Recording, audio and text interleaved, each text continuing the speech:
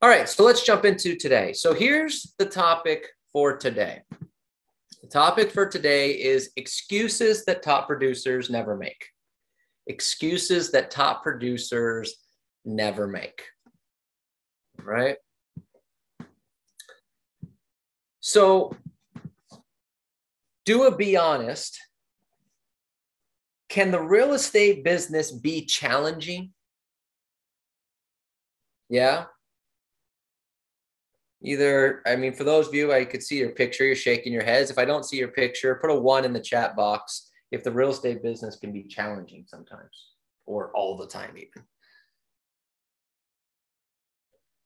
Right so let's don't be shy. Don't be shy. There we go. All right all right it's funner when there's more participation the real estate business is challenging. No one is ever going to accuse anyone of saying that the real estate business is challenging. Saying the real estate business is challenging is not an excuse, that is a reality. Okay. Mike Ferry says all the time this is a simple business, it's just not easy. So it can be a challenging business. What we have to make sure we're protecting ourselves against, though, is the excuses that it's challenging and I can't be productive. That's where we have to kind of step back and alter our mindset here and alter the way we look at things. Challenging, yes. Impossible, no. Okay. So let's go ahead and talk about that. So let's talk about some of the excuses that top producers never make. They're not written in any particular order, it's just how they're written down. First one I wrote down is excuse number one I don't have enough time. I don't have enough time. Be honest. Have you ever said, I don't have enough time? Me, Felicia, Gustavo, and 25 liars. Yes. okay, good, good, good, good. Luis is there, and Tyrone, and Tess, and Ernie. Okay, all right, we're getting some people here. All right, I don't have enough time. The reality is, if you don't have enough time in your day, it's more likely that you just simply have a time management problem. Every you've all heard the saying, right? Everyone has the same 24 hours in a day how is it that some people can accomplish this in 24 hours and some people only accomplish this? So here's what here's what i wrote down. Write this down. There are 48 30 minute segments in a day. It's 24 hours in a day two 30 minute segments per hour. So there's 48 30 minute segments in a day the question is, how are you spending those 48 segments? So let's think about this. Should you role play scripts and objection handlers every workday? Yes? Three, yes, see, yes, yes, I, I see yes. A, yeah. I see a couple of you agreeing. Some of you, if if you either unmute yourself or put something in the chat box. If, you if your pictures, I can see you. A lot of you don't have your pictures, so either comment in the chat box or unmute or something. Okay. So, one, if you role play your scripts and objection handlers for 30 minutes, that's one 30 minute segment. Okay. So we're at one. Do you think if you role played your listing presentation every day, that would help you? Yeah, I see some of you nodding. 100%. Again, for those of you that are not on camera, put something in the chat box. Let me know you're alive. All right. Okay. So let's say you did that for 30 minutes. That's another 30 minute segment. So one segment for role play scripts and objection handlers, one play for one segment for role playing listing presentation. If you preview property and you spent one hour previewing property, how many homes, basic homes, could you see in an hour? I, I mean, be honest with me. What, what do you think you could see in an hour? Two, three, four, Maybe four, four, four, five. four, five, three. Okay. I know some of you, it all depends on the area. Some of you, a little rural areas might take longer. Three. Okay. So let's just say three. So if you previewed three homes a day, five days a week, that's 15 a week. You did that for 40 weeks, that's 600 homes a year. Would that help you? Okay. Yep. So one hour of previewing property a day. So that's two segments, two 30 minute segments, right? So we've got one 30 minute segment for role playing scripts, one 30 minute segment for role playing listing presentation, two segments for previewing property. Okay, prospecting, right? So is it reasonable? Tell me if I'm wrong. Is it reasonable to prospect three hours a day? Mm-hmm. Uh-huh. Everyone agrees three hours a day. Some of you are prospecting more, some of you maybe slightly less, but three hours. Okay. So three hours is you get the gist here is six segments. Six segments, six 30 minute segments. And then you come to training classes like this and, and Cindy's classes and things like that. So that's about an hour. So let's call that two segments. So here's the thing if I role played the scripts 30 minutes a day, if I role played the listing presentation 30 minutes a day, if I previewed homes for an hour, prospected for three hours, and went to a training class a day, that gives me total. Uh, now, hold on. If I did all of that, would I have a productive day? Yeah, pretty much. If I did all that, 30 yeah. minutes of role playing scripts, 30 minutes of role playing listing presentation, three hours of prospecting, an hour of previewing, and going to a training class, is that a productive day? Would I probably yes. be very productive in my business? Okay. Yes. So all of that equals 12 30 minute segments in your day. Now remember, you have 48 total. And all we did was cover 12, which means you still have 36 more segments in your day. Now, okay, you're going to sleep for some of those, you're going to spend time for family with some of those. But the point is, if you really just focused on the important stuff in your business, you're really not, you really have a lot of other time. Does this make sense to everybody? Okay. Yes. And how we kind of broke that down a little bit. So look at your schedule, look at your time. How many 30 minute segments are you dedicating to those basic things versus other things? There are 48 30 minute segments in a day. How are you spending yours? I wrote down here, this is from Valerie Caro. We've heard this a hundred times if you've been around Mike Ferry for a long time. The tighter your schedule, the more freedom you have. If you don't have enough time, if you're telling yourself, I don't have enough time, it's because your schedule, chances are, is not in order. or more likely, you just don't have a schedule. It's just wake up and go as go as it flows. And yet there's people like Valerie Caro who said this quote, who gets into the office at 6:15 and she's out of the office by 3:30 Monday through Friday.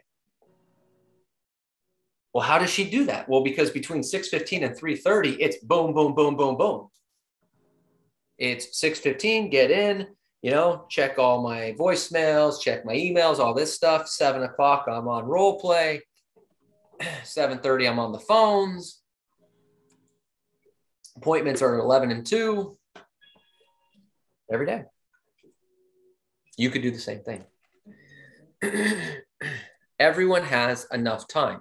Now, here's what I want you to write down you have enough time to accomplish your goals.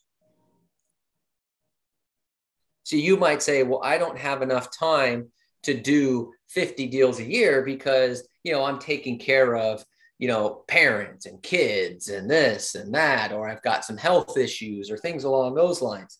So you might not have enough time to do that business, but whatever your goals are, you have enough time to accomplish that. Don't tell you don't have enough time. And if you need help with the schedule, let me know, let your coach know, and just say, hey, look, I need to fix my schedule because I feel like I don't have enough time. We will we will help you do that. All right. Second, second excuse I wrote down. Nobody is buying or selling because of blank.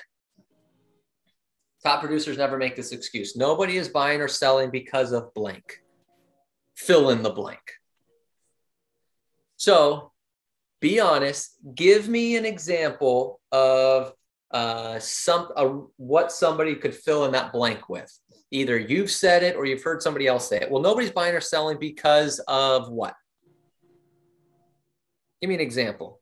Nobody's selling because uh, there's no houses to buy. There's no houses to buy, right? Okay, so there's no houses to buy. So Prices we're are too high. Okay, great, got it. No house to buy. Prices are too high. What else? What would be another example of uh, an event, a time of year, a an excuse that people would say, "Well, nobody's buying or selling because of what?" Give me one more. holidays. Holidays. Right. Yep. Yep. Exactly. So here's the thing. Here's what I wrote down here. I wrote down three additional ones to the ones you all said. Very true. I wrote down here nobody's buying or selling because of the holidays. So in the fourth quarter of 2021 in our MLS, now if you're outside of our MLS, you look at you know look at your own MLS, your own marketplace.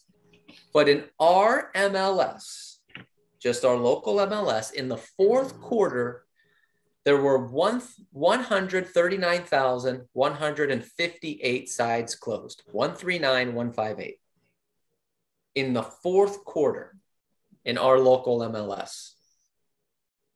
130 almost just over 139,000 sides were closed. so, I mean, how many how many sides do you need to close a month, a quarter to have a a really good month? So, okay, so that's not the case. I wrote down here because I hear this every time this comes around. Well, you know, it's the election season. Things are slow. I hear that all the time. Now, there's no elections coming up, okay? But this keep this in mind for future reference. Write a note to future self the next time an election comes around. Well, the election season. So I went down to 2020 was the last election, presidential election. So I looked at the months August, September, October, November, right? That's kind of like the heart of the election season. 2020 MLS, almost 200,000 sides were closed in those months. 198, 176, 198,176 sides were closed during those months. I wrote down third one, COVID, right? Well, nobody's buying or selling. COVID's going on. Everything's crazy. All right. 2020 and 2021. 2020 and 2021, those two years in our MLS, over 1 million sides were closed. 1,065,946 during those two years. A million. That's a lot of deals. So the point I'm bringing up here is the excuse of, well, nobody's buying or selling because of what? The next time that enters your mind, go back and look at the numbers and find out if it's actually true. The interesting thing is during COVID, during COVID, the lowest closing month during COVID was May of 2020, right? Because everything kind of shut down in March. So closings in May were the lowest. And even in May, there were 25,000 closings. Don't ever use the excuse nobody's buying or selling because of blank. Okay. There's always now there might be less, there's less deals in the fourth quarter compared to the third quarter. Yes, but there's always deals. Don't ever use that excuse. Okay. I wrote down here third. I can't close a lot of deals because I don't have a big database. I can't close a lot of deals because I don't have a big database. Well, these agents have huge databases.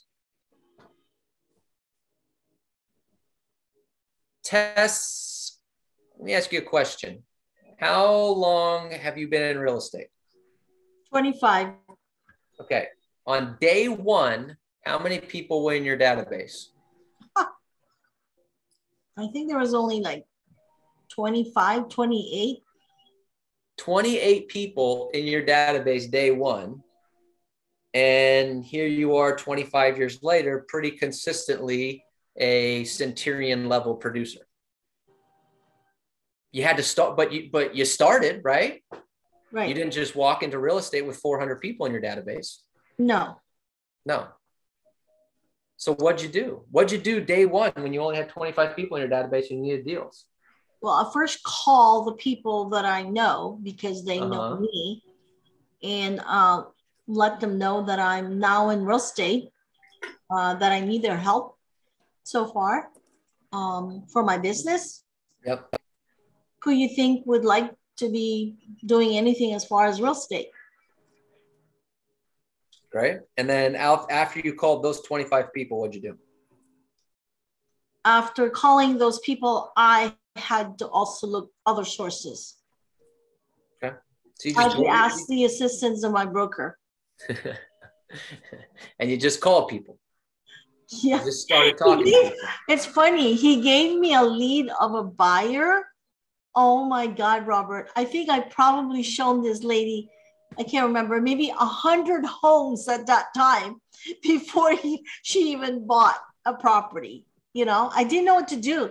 It's like going in a pool, you don't know how to swim, you know? Yeah. Yep. Yeah, I get it. So, I mean, it happens, right? Not all these agents walk into real estate with a 400 person database. Mhm. And we hear this all the time. So you think, well, you know, you look at someone like Tess now and you go, well, yeah, look at her database. Yeah, but she started out with 25. You look at someone like Melinda, who's got an 800 person database. Well, yeah, of course she's making that much money. Look at her database. She started with zero. She moved here from Wisconsin by herself. It started with zero. Well, Bernie Gallerani, his team's going to make $7 million this year in Tennessee. Yeah, Bernie Gallerani is originally from Las Vegas. When he moved to Tennessee, the only person he knew was his wife. It's not, yes, the database helps you at some point, but don't use the excuse that you can't do business because you don't have a big database. You have to get out there and talk to people. You have to get on the phones. You have to get on the doors. You have to network. The database helps eventually, but that's not what starts the big producers. They don't walk into real estate with 500 people in there that are just handing them business. Okay. It's just not the way it works. Get on the phone, talk to people, build the database. And the way you build the database is show them that you know what you're doing, that you know what you're doing. I wrote down here, I can't close a lot of deals because I can't afford marketing. I can't close a lot of deals because I can't afford marketing. So let me ask you this Does everybody here have a cell phone? Okay. And everybody's bill is paid, everyone's up to date. Okay. Everyone's cell phone is working. Great. You just paid for your first marketing. Get the cell phone, start dialing. Here's the script. Call these people. Why I only have 25 people in there, as Tess said. Start with those 25. Hey, Jane, Robert Hertel, how you doing? Just want to let you know. Not sure if you're aware or not, but I'm actually in real estate. I'm a part of XXXXX. I'm just calling to give you an update on the real estate market. This many homes have sold. This many sold for list price and above. I'm curious, who do you know that might want to buy or sell? That bill's paid. That marketing's already paid. Let me ask you, do you need to pay for scripts? No, No. Okay. So the cell phone's paid and the script is free. Marketing paid for. Done. Okay. But what about postcards? Let me tell you, let me give you a little dirty secret. You can make it in real estate and make a lot of money and never send a postcard in your entire life. I'm not saying for those of you that do it and it works, do it, but you can actually never send a postcard your entire life in real estate and make a lot of money if you use that device that I just told you about that you're already paying for and you use those scripts that you didn't pay for. Well, what about social media ads? See postcard comment above. Now, can these things help? Let's be honest. Who here has, and I'm saying this in a positive way, I'm not saying this in a negative way. Have you ever sent a postcard or done some sort of marketing piece and gotten a deal out of it? Has that happened? for some of you. Yeah, yeah. I mean, some of you, yes, some of you, no. It happens.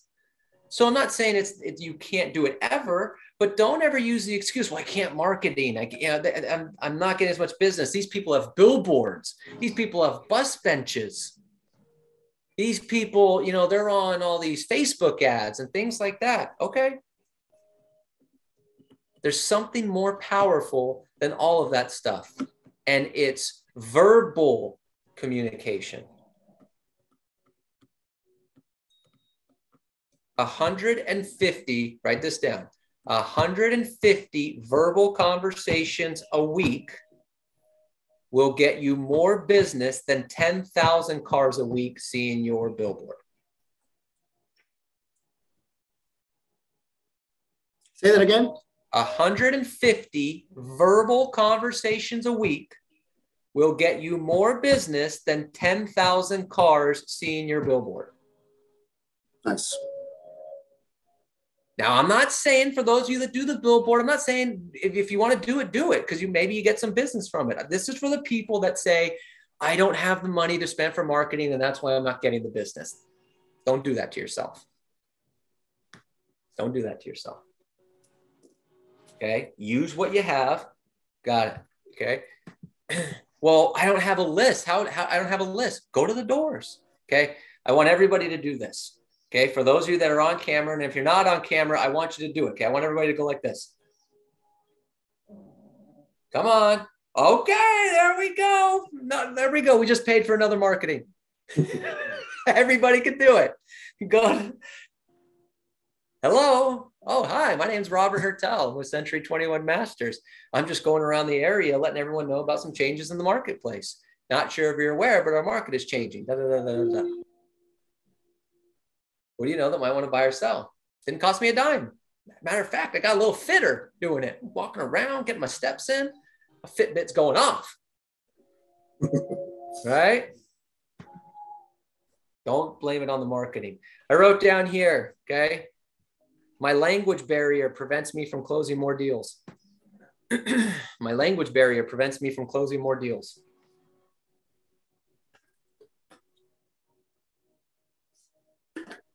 All right, put a one in the chat box or raise your hand if English is not your first language.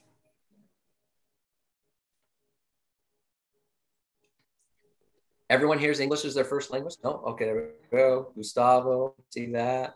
All right not their first language. Trina, Sasha, right? Tess, not first language. Young, right? Not your first language.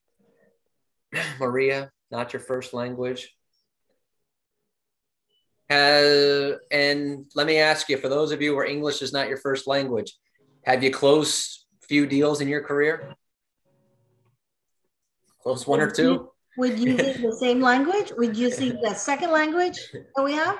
Yeah. Whatever. right?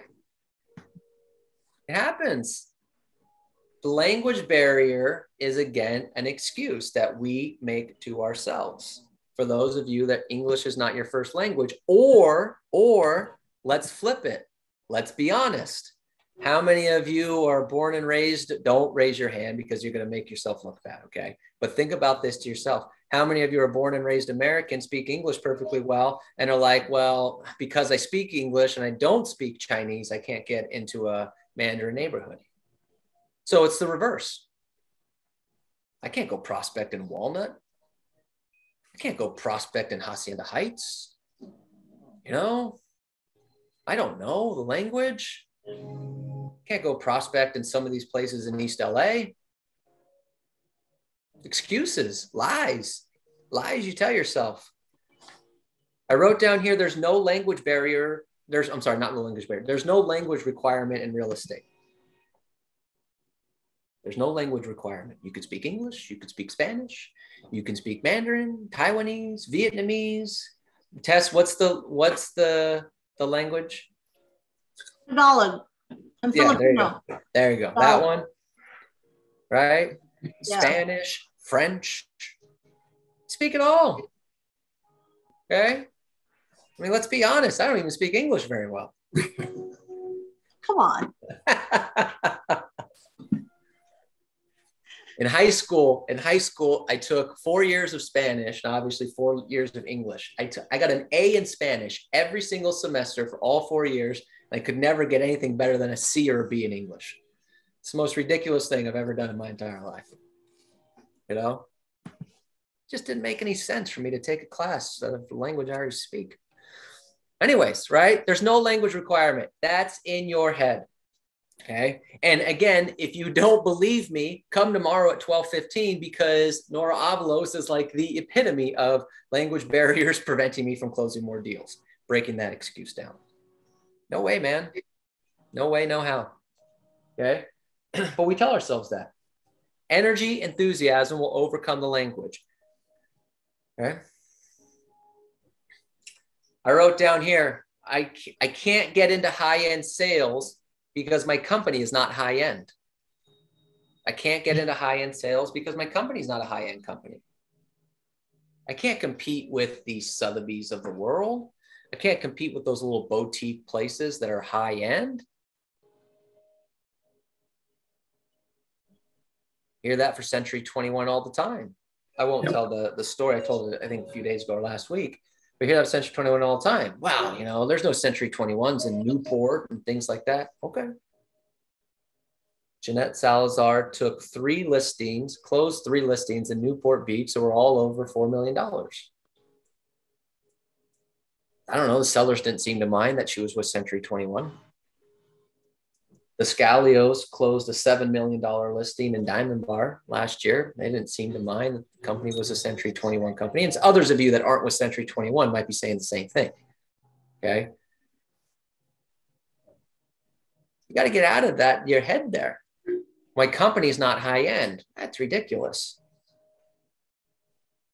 The company is not high end because you don't give a high end presentation the company's not high end because you don't perceive yourself as a high end real estate agent, then you blame the company. It's just not true. Now, if you go to a $4 million listing presentation in Newport Beach and you have the old Century 21 logos and you have the old themes and all those other different things, yeah, that doesn't help you. But if you're modern and sleek and up to date, then you're fine, right? My company's not high end. Or I can't get into high end sales because I've never sold a high end home. I can't get into high end. I've never sold a high end home. How am I going to break into that market? How am I going to break into that market? So, does everyone know the name Ed Kaminsky? Okay, yeah. you heard the name Ed Kaminsky before? Okay, great. So, for those of you that don't know, Ed Kaminsky works Manhattan Beach, Southern California. For those of you that are not in Southern California, Manhattan Beach is, I don't know if it's number one, but it's like top five in terms of average price for a zip code is like the highest city, one of the top five cities in all the state, probably even in the country. And he sells a ton of homes in that zip code. Now, do you think Ed Kaminsky got his real estate license and they automatically said, you have experience selling high end homes. Day one, he got his real estate license. He went to a listing in Manhattan Beach and said, I've sold a ton of high end homes. Look at they the board of realtors gave him to me. No, you start with one. But he had to convince one of them to list with him, even though he had never sold a multi million dollar home in Manhattan Beach but he had the plan, he had the marketing, he had the confidence to go in there and do it. Now, I've never sold a high end home. I can't break into that market. Stop it. Everybody, st- this is write this down. This is really important. Everybody started at one. Every agent that you can think of that did a high end home, every agent that you can think of that's done a million dollars in deals or anything like that, they started with one you, if you're giving yourself this excuse, have to start with one. One. Just the same way they did.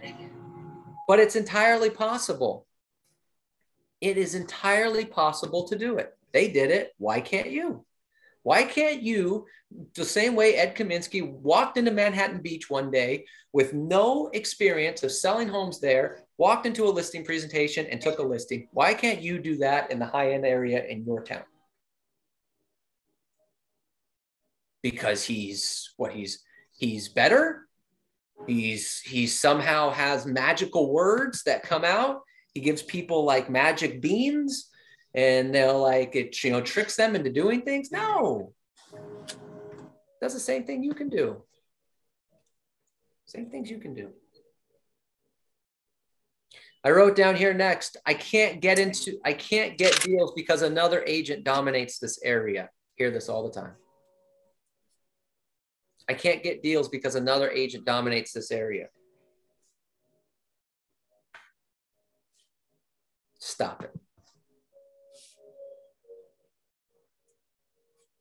Even the greatest agents in the world, their market share is like three or 4%.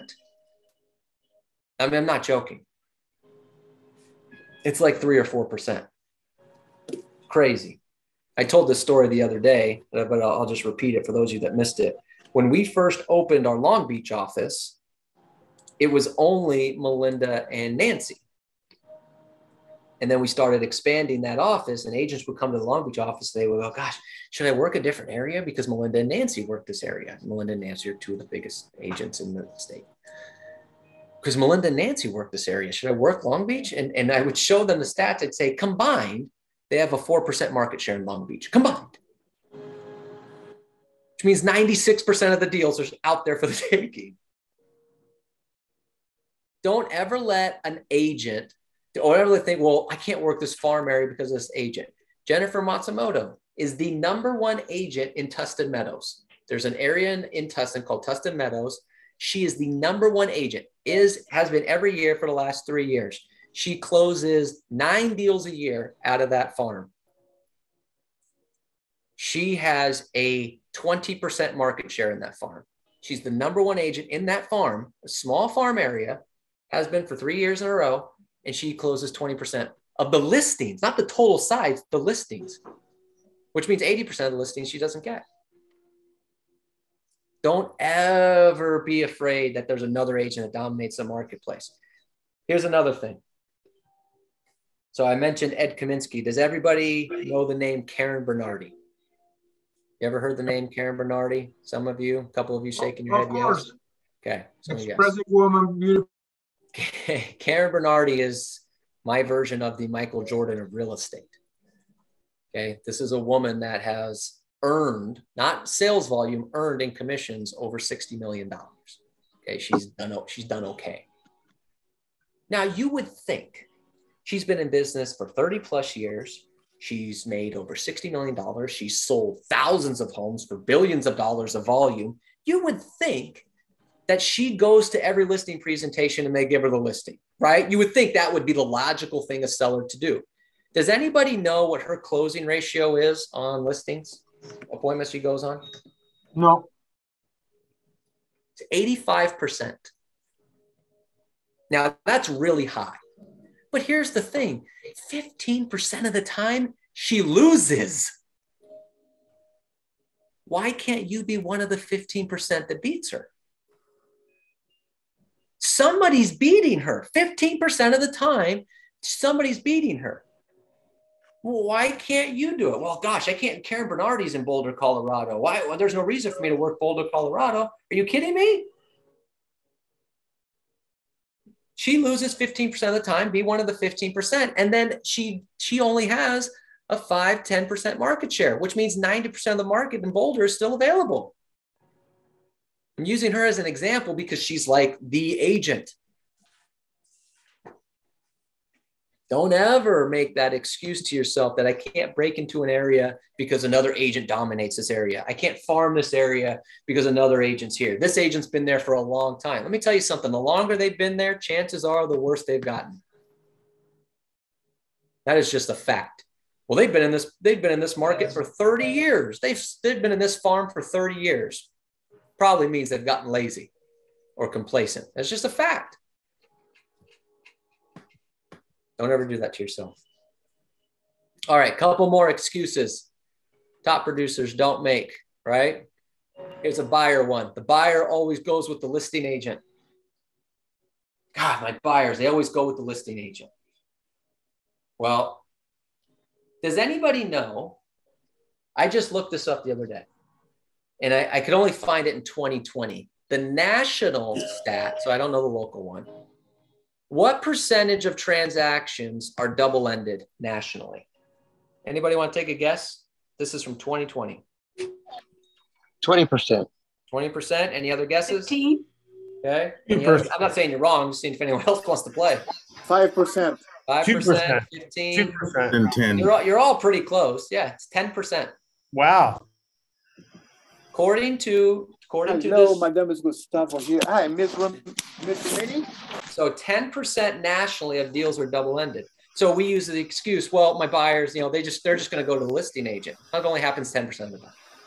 90% of the time they stay with the buyer's agent. They go to the listing agent, probably either one because they're not very motivated and they're struggling, they want to go to the listing agent, or two, you're just not doing a very good job. But don't use the excuse that they're always going to go to the listing agent. And then the last one I wrote down here I can't get deals in this area because of my age. Can't get deals in this area because of my age. I'm either too young, too old. Who here got into real estate when when you first got into real estate, you were 25 or younger? When you first got into real estate, anyone here were you 25 or younger when you first got into real estate? Nobody? Everyone started when they were older? Okay. Never mind. Move on. Don't ever use age. Too old, too young, anything like that. So I wrote down here, right? The beauty of real estate in terms of eliminating excuses. Beauty of real estate in terms of eliminating excuses. We'll wrap up with this. In real estate, to be a great real estate agent, there is no language requirement. There's not a language requirement to close a lot of deals. I wrote down here there's no gender requirement. Male, female, doesn't matter. Actually, as a matter of fact, the females typically outproduce the men and earn more money. If you don't believe me, look at our company. You have Mark and Al, number one, every year. But then you have Melinda, number two, female. You have Jennifer Matsumoto, number three, female. Meg Middleman, number four, female. You have the Scalio team, which is two females and one male, so it's female dominated. Linda Holmes, female. Nancy DeFrey, female. I mean, the truth of it is, we're being honest here. Hey, guys, step it up, huh?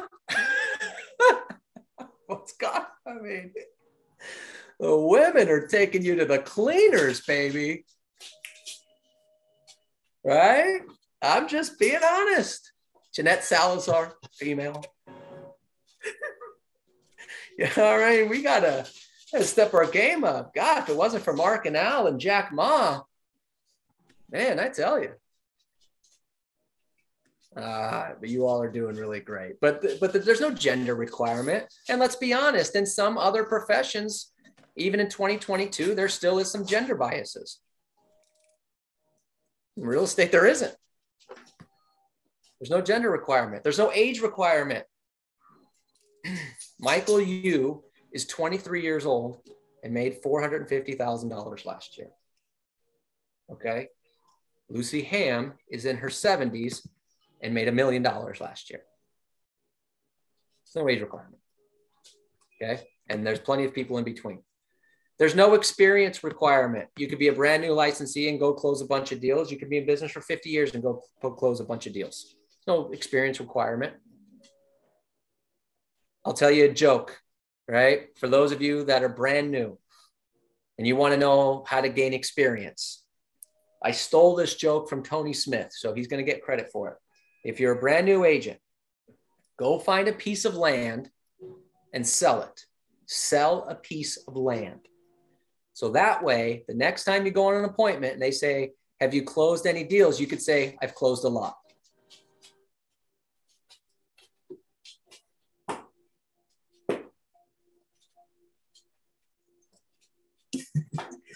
Come on. Yeah, that's a good one. That's a good one. Yeah, there we go. There we go. And I, I got to give Tony Smith credit for that one. That's his. There's no experience requirement. There's no education requirement. Okay. Neil Schwartz has openly admitted that in, he barely graduated high school. He had 19 D's. So you could be that. You could be a Harvard graduate. Doesn't matter. There's no education requirement. And there's no location requirement other than the state, right? Well, I can only work Covina. I can't possibly work Azusa. I can't, you know, no, it's not it. There's no requirements to be successful in this business. Eliminate the excuses. It's challenging. It's very challenging. No one's ever going to argue that it's not challenging. It's a very challenging business, but it's not impossible. Eliminate the excuses realize that there's no requirements to be successful in this business. And once you accept that mindset, then you'll be completely unstoppable. All right, everybody, that's all I got. Hopefully, there was one or two things in there that were